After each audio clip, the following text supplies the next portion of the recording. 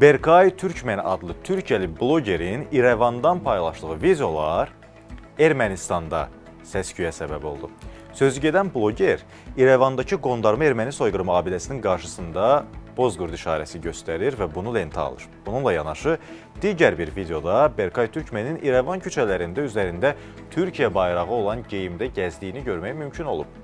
Sözü gedən bu görüntülər Ermənistanda geniş müzakirələrə səbəb olub. Bundan narahat olan ermənilər həmin blogerin tapılması ilə bağlı şərhlər yazıblar.